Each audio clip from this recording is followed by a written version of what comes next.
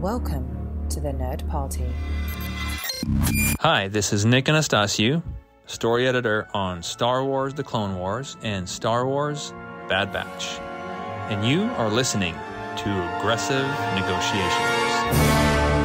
Thank you for choosing Aggressive Negotiations, the Star Wars podcast that looks at the Star Wars galaxy from a slightly different point of view, as Master Obi Wan taught us to. I am one of your hosts, Jedi Master John Mills, and with me is my dear friend, my compatriot, my brother in arms and lightsabers, Jedi Master Matthew Rushing. Matt, you ready to talk about this topic tonight? Uh, you know what? I really am. Uh, mainly because uh, the conversations that uh, people are not privy to uh, that we have uh, in our secret, uh, you know, hollow projected communication platform that only we have. Uh, only and Elon Musk is just so jealous of it. Um, but um, you know, in our modified Fondor Hall crafts. Uh, yeah, I'm super excited about this because, uh, you know, it's not often that I uh, have a disagreement with Yancey, but this was a conversation that we had that led to a disagreement. And I figured, well, if we're disagreeing on that, that's got to be fodder for aggressive negotiations. And I couldn't agree more, especially because I was put in the awkward position of being peacemaker for once instead of instigator. And that was really a problem for me. It was something I wasn't comfortable with, but something everybody should be comfortable with is, of course, give us a star rating and review over on Apple Podcasts. Please, by all means, reach out to us on the social medias. Matt is at Matt Rushing02 on your social network of choice. I'm Kessel Junkie. You can find the show on Twitter at the Jedi Masters. And of course, you can find the network at Join Nerd Party on Twitter and the Nerd Party on Facebook and Instagram. So let's just kick this right off, Matt. The disagreement that leads to this conversation had to do with the way that Andor and the rebellion are being portrayed in the new series Andor, available only on Disney Plus. But there are some who feel that the portrayal of the people in the rebellion is decidedly less than heroic and that their morality is bordering on the amoral, if not immoral. I want to just open it up with that. Do you feel that this is, in fact, a, an inappropriate tactic to have? Do you feel that this is a true portrayal of what we're being shown on the show? And depending on where you end up with that, is that a good thing? Is that a bad thing? Is that an important story thing? What, how Right. do you approach this? So, you know, when it comes to the idea of the rebellion and the empire, um, and what you know Lucas was kind of pulling from, obviously he's pulling from many different uh, historical sources, but you know, big inspiration from him, uh, especially for uh, Star Wars, uh, our original film, is World War II. Uh, obviously, a lot of dogfighting inspired the the scenes we see in space with the X wings and what's happening above the Death Star, and you know that that has a big impact on on kind of what he's thinking of, and and of course he's thinking in those big mythological and and storytelling terms of you know what we've seen over history you know with with um empires and um you know uh, what they do uh you know from rome all the way to you know um what hitler was trying to do in, in world war ii so there's kind of a clear uh and and i would say you know one of the beauties of of and and it sounds weird, weird to say that but one of the, the interesting things about World War II is it, it seems like almost the last time where a war felt more black and white in the sense of there were clearly good guys and there were clearly bad guys and everybody could agree on that. There was no question right? You know nobody nobody uh fancies themselves a nazi these days um because they were clearly the bad guys. And um, of course that's what we call people when we don't like them and that's how you win arguments. So um, all that to say what's interesting about this is that you know as we dig into the rebellion from this point of view we clearly see that there are different tactics for the rebellion in general and those involved in it some being more morally upright, as we might consider somebody like a Mon Mothma. We might consider like a Hera Syndulla, those type of things, right? Uh, and then we had our more morally dubious characters, like a Saw Gerrera, who was so extreme he was excommunicated. You know, we saw that in Rogue One. And so we have this vast spectrum then of of characters. And the interesting thing about Andor is how he fits into that. And I think what we're finding is that he's somewhere on that spectrum, and it's specifically where he'll land will be very interesting, especially as we watch him kind of grow through the two seasons that we are going to get here uh, with this show. Now, we've seen his end in Rogue One, and yet I think the show will continue to kind of flesh out that character. But I, I think that that can be a tension there for a lot of people because it isn't so clear cut. It's not so black and white. And I think some people may not enjoy that as much uh, as, you know, what we had gotten before. But to me, I think there's a reality to that. And I also think that it's even something that Lucas himself began to explore specifically in the Clone Wars, those ideas of you know, can you how do you stay on the good side and continue to fight a war? I mean, that was the whole question with the Jedi, right? Um, and you know, how do you continue to be a character who's considered morally upright and and yet having to to to fight in battles and those kind of things? And so, to me, this just seems to be a continuing question here in this series. Uh, and obviously, a big question, of course, for the rebellion, because if you're going to fight something so evil as the Empire, the question becomes how do you do that and not turn into what you're fighting? Uh, well, I'm I'm going to take the floor on this one now. You know, just to go from there and offer a couple of counterpoints here because I do see the point of view that some might have. Now, the the first counterpoint I would offer is that when we do first encounter Andor in Rogue One, he murders somebody in cold blood so that he can get away from the Imperials. He feels bad about it. He even talks later about the fact that he is conflicted inside about how things are. He doesn't say it necessarily straight up, but you can tell that he's not particularly happy about all of the things that he's felt he's had to do for the cause. In terms of fleshing out the character, I hate to break it to everyone, but by the end of this series, he's going to be in that place where he is still willing to murder somebody. I, I don't want to candy coat it. Right. He murders someone at the beginning of Rogue One. And you can sit there and you can say, well, he needed to do it. If he had been killed, these things would have been you it's still just you might say it's justified what he did, but it's still murder. It's still straight up cold-blooded murder that happens. So no matter where we go with Andor, it's not going to be a happy place at the end. At least if they stay true to the character, because that's supposed to be his whole arc in Rogue One, is he sees Jyn's point of recapturing hope, as opposed to being in a place of despair. Now, that I think is an important point. But I also think just to go back and, and add the exclamation point to your reference to the Clone Wars, this was very much on Lucas's mind because of the fact that he's the one who created Saw Gerrera, or rather, I should say, his team, and he created Saw Gerrera. But Saw Gerrera's name is a specific nod to Che Guevara, who Lucas saw as somebody who had the right cause, the right revolutionary cause, and then just kept going and went too far. And that's always, to one of the points you raised, that's always one of the questions that you have is when do you cross that line?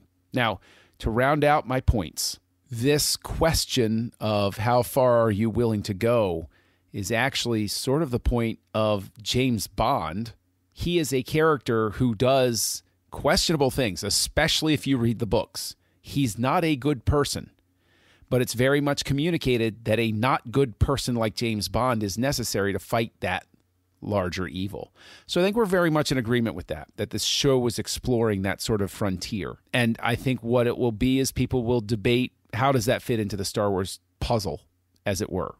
I see it as fitting in the Star Wars puzzle. I see it as a necessary thing to show the rebellion unable to find its identity until a new hope comes in Luke Skywalker and Princess Leia. Well, and and I think that there's something to that because we know that there are you know force users uh, and and people like that in and around the rebellion but there isn't really anybody carrying on the legacy quote unquote of the jedi until a new hope in that way uh, you know, we have rebels. You know, we have somebody like Ahsoka who is um, a secret agent. You know, she she's uh, our our main contact in Rebels as well. Um, there and um, but it doesn't fully come to life until you know you get to A New Hope, and so especially you know where the character of Andor is I think to grow up in that completely almost amoral world right where it is dog eat dog world it's survival mm-hmm. of the fittest. You are just trying to survive. And then you take on this mantle of trying to then fight this evil but you don't have that that light right to hold on to you know, uh, he's well, he's I, almost I, trying to like like you have to manufacture that. It's not necessarily there. You well, and for him, he has no recollection of a world really necessarily without the empire for the well, most part, and so.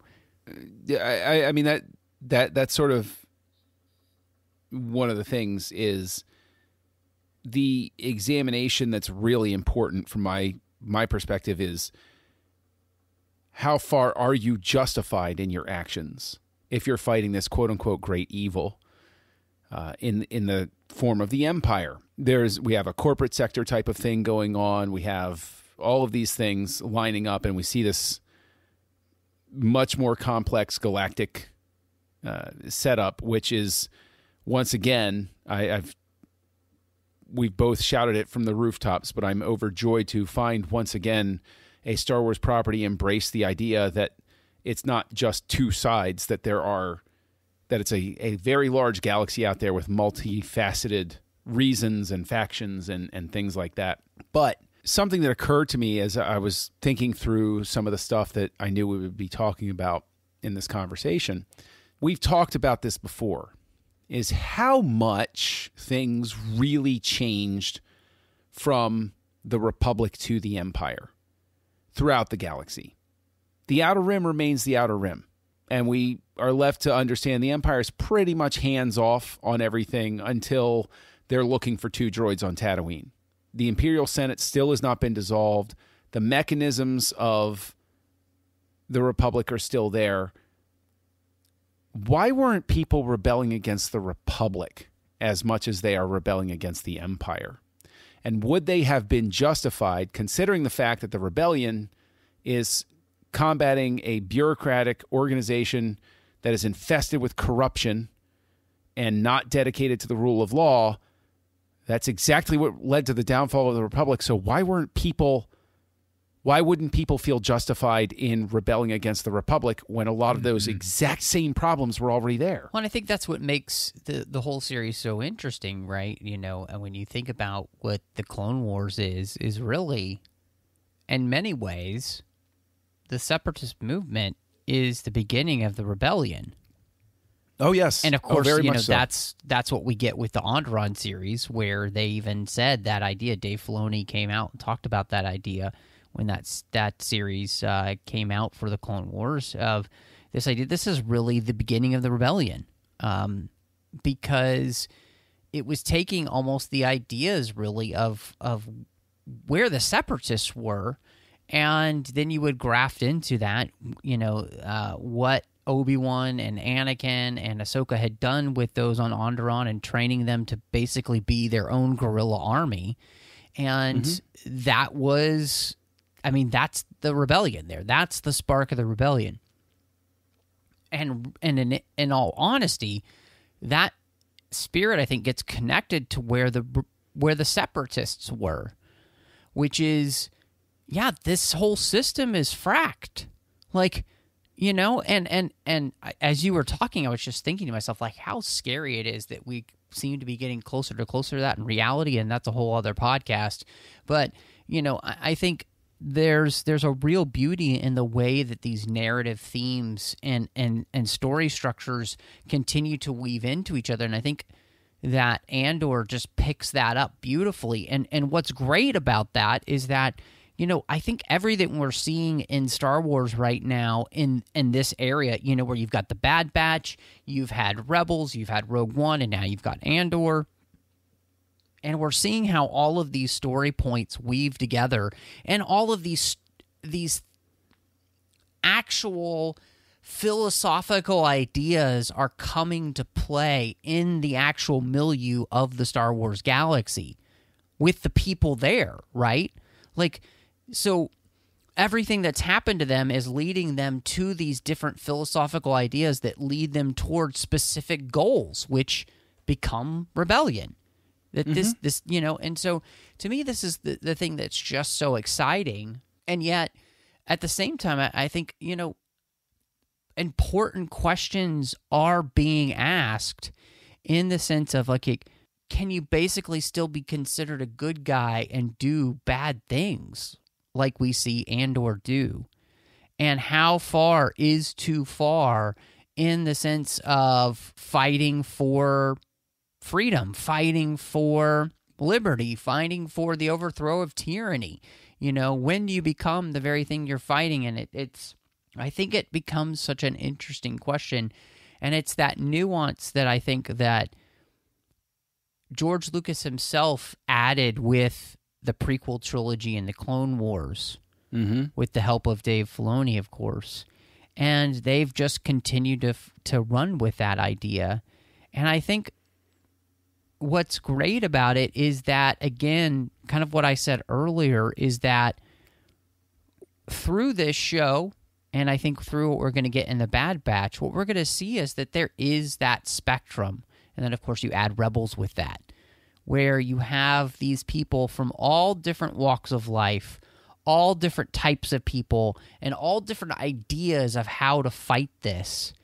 And who's going to win out on how we do what we do against the Empire is going to be just as important as winning. And those are, I think, very important questions for Star Wars to struggle with because, in many ways, those have been the struggles throughout, I think, the, the entire saga as Lucas had continued to add to it. And, and just to sort of like add, add on to that, is our understanding of things. I, I would view this in a more, I would view this in the same way that Star Wars, the original, echoes this idea of a movie like The Longest Day, where if anybody has not seen it, I still maintain is possibly the greatest war film ever made. Um, but not everybody would agree with me sort of thing. I mean that, that that's a very difficult mantle to claim, but The Longest Day is an absolute gem of a giant scale movie celebrating the allies in Europe and the D-Day attack. I encourage anybody to go see it. Uh, you want to talk about an all-star cast, it absolutely knocks it out of the park. And then over time, as we continue to muse about World War II, we pass through Patton. And then eventually we get to Saving Private Ryan, where we see a lot more of that self doubt and ambiguity. And why are we on this mission? Well, we know that we're fighting the bad guys and we know that we're here to win this war. And we know that there are things we have to do that we don't like. But at the end of the day, I want to go back home to my like we're I, I think that Andor and the Bad Batch and Mandalorian reflect that more boots on the ground level of life in these sorts of situations. And so I, I, I, think that it's a natural extension of how we all view things as a, in a certain way through a certain lens, and then that lens shifts over time as we re-examine it. And I think Andor is part of that re-examination that we would have looking back, you know, on, on that time period of Star Wars, mm-hmm. especially if you're going to open things up and have a much larger connected look at everything. There are undoubtedly going to be margins where you have, honestly, you want to talk about continue to move forward. You have your Saving Private Ryan. Then you have something like Inglourious Basterds, which is pure fantasy on the part of Tarantino, but still that sort of beautiful wry look at the idea of locking the doors and setting fire to a, a theater full mm-hmm. of people. Right. Well, they were all bad people. Right. So, right, wrong. Like, where do you stand on that? You know what's interesting is is that you were talking about those the the things that you know we can kind of connect to. Uh, to me, you know, Rogue One feels like the Saving Private Ryan film of Star Wars, but then you know Tom Hanks went and produced Band of Brothers, which mm-hmm. was a whole series of the you know um, 101st First Airborne Division uh, and their experience uh, in Europe. And to me, uh, in fact, even the way that show starts, where we start back all the way with these guys training right at camp, um, all of that seems to fit very well within the structure of how Andor has begun, where we tell the backstory of how everybody gets to where they are, and then we kind of launch into this story. And, it, it's very similar in the sense of it's it's methodical and giving us the the details of who these people are, their lives, and their experiences, good and bad, in warfare. And mm-hmm. the, the interesting thing about Andor so far, you know, as we're seeing, is it's not just Cassian and his experiences, um, but it's every single level. You know, it's Luthen, it's Mon Mothma, and it's the battles that they're facing on every single front. And we see that the reality of creating this rebellion and trying to sustain it is something that's being fought on every single level. Because on the other side, every single level is against them. And I think there's just, it, you know, some people could complain that that's getting maybe a little bit too realistic, but I think to me what it does is that it brings home just how important the thematic elements that Lucas had started with continue to be throughout something like this, right? And to me, this is continuing that trajectory. It's continuing that trend that Lucas started all the way back in the original trilogy, continued with the prequel trilogy, and then accentuated in Clone Wars. And, you know, because I, I felt like, you know, we started off with a with a very small egg, and then we just cracked that and we continued to crack eggs and add to the, the pile of scrambled eggs that became Star Wars. This is a really bad analogy, but I'm glad you said it. You know what I'm saying? yeah. No, I, I, I do know what you're saying though. I do. Uh, it's it's one of those things where I think what you're getting at is that these all feel like pieces Lucas left behind for people to play mm-hmm. with. Yeah. He walked away, but he didn't take his toys with him. He said, "Look, here here's what I have. Have at it. Have fun." And I'll go so far as to say that yet again, Andor is something that feels more a part of a genuine George Lucas Star Wars universe than some of the other things that we've gotten. We're not going to point fingers at anything. But and and the thing is, you and I we very famously don't see eye to eye on Rogue One. But one of the reasons I'm enjoying Andor up to this point is in a very large sense I can tell that it's going to enhance my enjoyment of Rogue One the next time I watch it. Because this path is interesting. So when I meet Andor again, that part of his journey is going to feel like I've I've soaked in the character. Sort of the same way that spending time with Anakin made Darth Vader more, even more interesting in the original trilogy, and Obi Wan mm-hmm. became even more interesting in the original trilogy. Yeah, I I always love to tell the story of sharing the prequels with somebody who had not watched them, and this person cried at the end of Episode three and said, "You jerk! I'll never be able to look at this the same way again." Mm-hmm. And I said, "That's the beauty of it." And I think Andor is the same sort of thing. I will look at Rogue One differently. I will still beat up on it for that first reel and the way it's put together, but story wise, it it's this is coming together for me. This feels like a necessary prolog mm-hmm. for the movie, so that I can back into it maybe the way that I don't know, you know, name a series that went from TV to movie that that worked, and that that sort of thing. That's how I can start looking at it. You know, I, you mentioned from TV to series, and and I was just thinking about the ways in which the Star Trek films, especially the TOS films, added to those characters, right? Uh, and you specifically think of the struggles of the the character of Kirk, who has to struggle with getting older, and that's really the theme for him. Mm-hmm and coming to grips with a lot of things that happen with him and you have all that backstory but then you just really dig into the character and who they are and it creates this more fully realized person. And and i think good storytelling, and especially the way that Lucas told his stories, which was to take these archetypes and to take these story uh, threads that come all from all over history. It's the hero of a thousand faces, and these things that we've seen over and over again.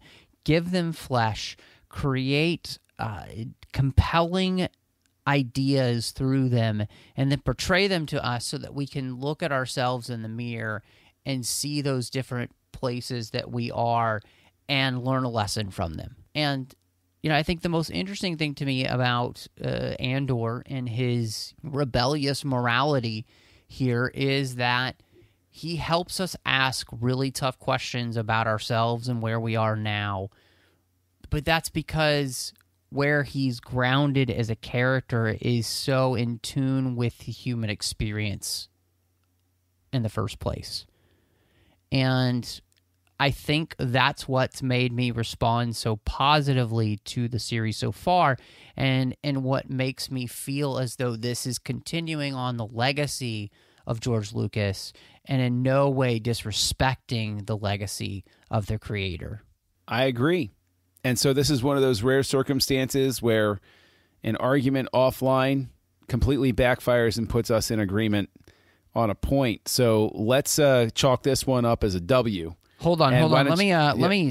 Uh, I just gotta get that audio, and I need to, I need to sample that so that I can replay. Yeah, especially that, that word rare. Over. Especially the word rare, Matt. just agreement, agreement between mm. Matt and John. It has happened. Aggressive would, negotiations this time has ended with joy and happiness. Your Honor, I would like to add the word begrudging to that word. Uh, but if people want to begrudgingly contact you online, Matt, where can they reach you? Honestly, it seems like that's the only way people contact me online. So if that's the yes. case, you can find me uh, at mattrushing02 on Twitter, Instagram, Letterboxd, and Vero. You can also find me, of course, here on the network with a completed show with Trey Kaufman, as we talked about every single chapter of the Harry Potter series, one chapter at a time and that is called Owl Post. You could also find me over on the TFM network. I'm doing a great show there called the 602 Club, which is our general geek show. We're hitting 400 episodes, which is insane this week, John. And uh, we also do a bunch of bonus shows in there. We've got uh, Snyder Cuts as well as Assembling Avengers, where John joins me and we talk about even more focused ideas, like you know maybe we walk through the the films of Zack Snyder and then maybe we walk through the MCU together. Uh, and of course, uh, you can also find me doing a bunch of other shows there Warp 5, Literary Treks, The Orb, Strange New Worlds show uh, about Star Trek called Saddle Up, and the artificial tango. But John, I'm exhausted from all that. So, you know, maybe people just want to like you know, yell at you because that's where and that's what social media is for. If that was the case, where would they find you? Well, everybody knows that my love language is yelling. So you can find me as Kessel Junkie on your social network of choice. You can also find me right here on the network co hosting a show called House Lights, where we look at the work of directors. In the meantime, Matt, I notice that uh, you have been sent what appears to be a, an odd shaped package that might be ticking. So I think it's time to close these negotiations. John, negotiations are closed.